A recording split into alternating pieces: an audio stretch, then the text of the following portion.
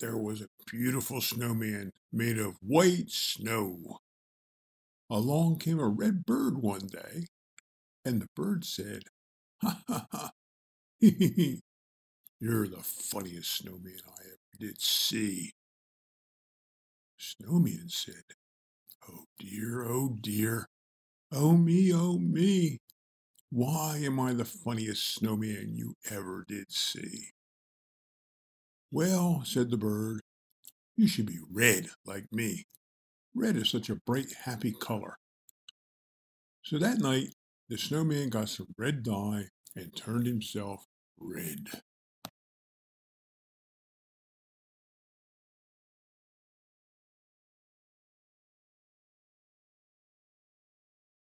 The next day, along came a yellow duck. You're the funniest snowman I ever did see. The snowman said, Oh dear, oh dear, oh me, oh me. Why am I the funniest snowman you ever did see?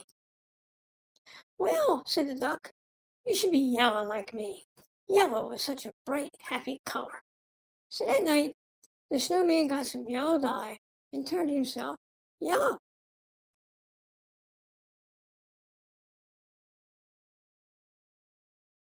The next day, along came a green frog. Hee hee hee, you're the funniest snowman I ever did see.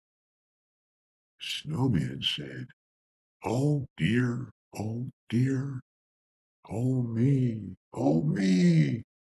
Why am I the funniest snowman you ever did see? Well, said the frog, you should be green like me. Green is such a bright, happy color. So that night, the snowman got some green dye and turned himself green.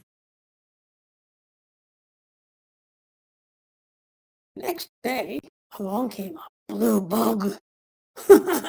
You're the funniest snowman I ever did see. The snowman said, Oh dear, oh dear, oh me.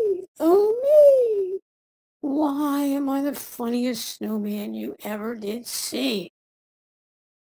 Well, said the bug, you should be blue like me. Blue is such a bright, happy color. So that night, the snowman got some blue dye and turned himself blue.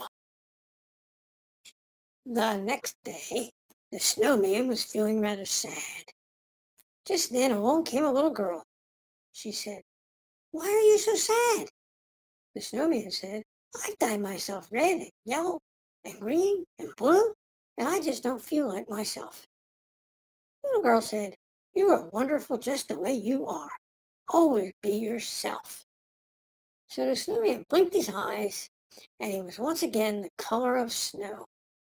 From then on, he was happy just being himself, and that's why you always see snowmen with happy smiles on their faces.